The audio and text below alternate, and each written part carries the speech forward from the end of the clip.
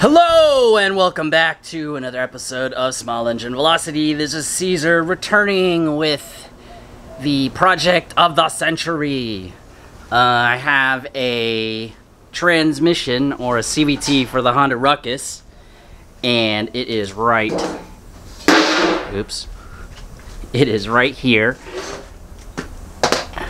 and I am going to go ahead and begin the disassembly of this CVT transmission. There's all sorts of stuff on here that I have questions about, but I'm just gonna go ahead and go for it. Uh, I watched a few videos, and uh, how hard could it be? Uh, as long as I remember how I took it apart, I can put it back together again, right? Anyways, uh, the first thing we need to do is take the transmission and go ahead and drain the fluid. So here is the CVT, and there is the drain plug. Go ahead and take the drain plug out and drain whatever fluid I have in here because the number one of the things that everyone keeps telling me is that when you take this apart drain the fluid first or you will have a wonderfully gross mess. So let's go ahead and do that first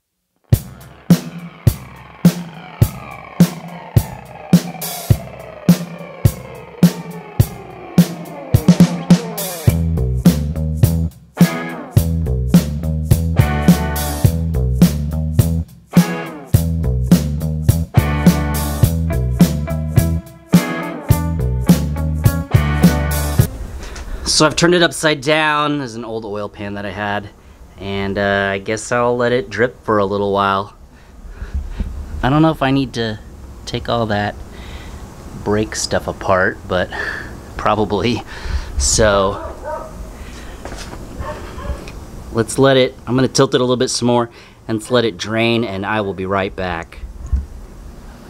All right, so it's drained. I'm gonna go ahead and use a 10 millimeter on all these nuts and then see if I can separate the transmission. So let's go ahead and give that a shot.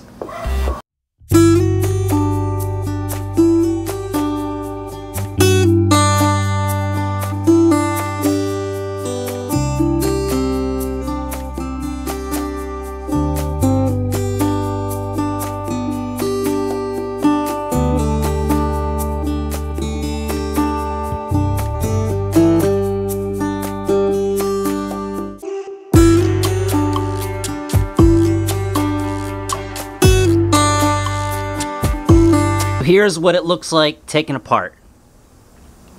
Keep in mind that there are two sizes, these two long ones and a bunch of short ones. Everything is a short one except for the two ones on the outside of the case. You can tell which ones they go on because the case, the, the distance, is it's the higher, it's the two ones that are higher up on the surface. But if you look, there's like the gears. Uh, obviously, there. I saw in the manual, uh, in the instructions, there's a particular place you run the seal against, the the gasket seal. But here it is on this. So I need to take this. Uh oh. Oh shoot. I forgot. There's two washers. And I want to make sure I remember where they go that are right here. I don't know which ones they go on top of, but I'm going to make sure that I remember that there are two washers here. And it looks like they are the same size. Yeah, they're the same size. See?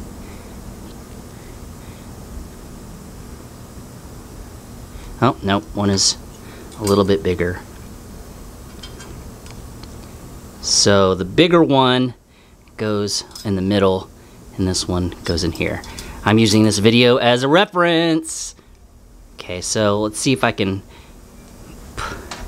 take these off and somehow maybe I can press this out. I don't know, we'll see.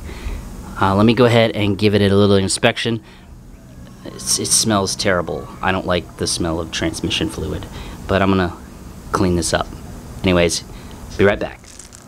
Okay, so let's take a look at what we got. This is okay, there, drive shaft to your wheel. So this is all one piece right here. Okay. So there is a replacement one in here right there. I don't know if you can see that in there, but this is a replacement for this. So you replace that.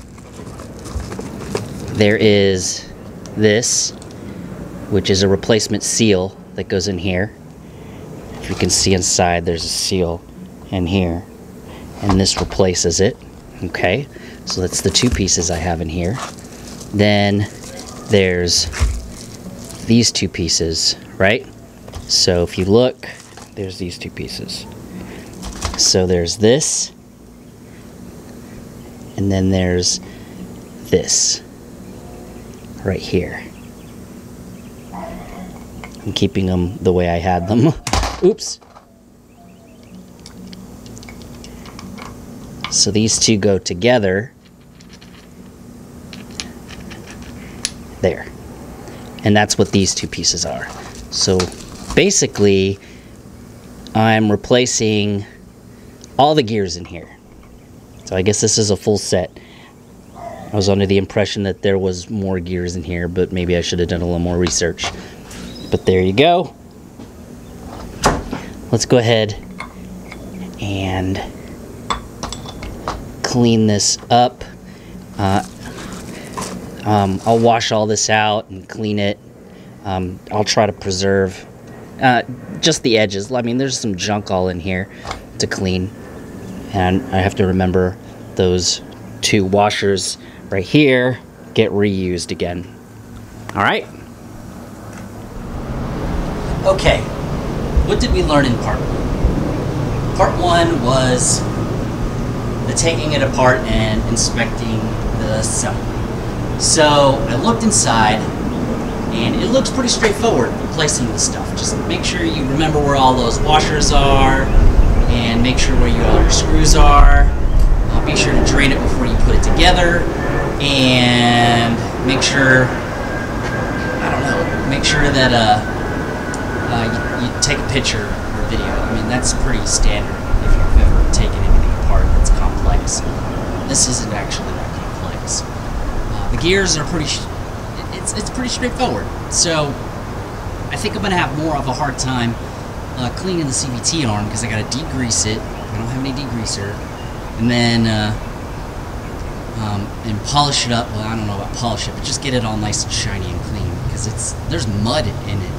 There's like mud and all sorts of like little crevices, and little bits of rust. Um, if I can, I'll paint it. I probably won't be able to. So uh, let's call this uh, part one uh, the exploration of the gears for setting up of a Met, uh, setting up Met gears in a ruckus. Anyways, uh, the second one will come up pretty quick. I'll probably do that one tomorrow. But I hope you guys liked. Be sure to subscribe if you want to see how this ends. Uh, we will finalize this particular series whenever we actually do a test run on it. Um, I recorded uh, what I everything I have right now, uh, and we'll see what it translates to I'm sure there's going to be a lot of different kind of tuning, which I think is what most people are uh, not concerned with, but are curious about. But anyways, thank you, and I'll see you next time.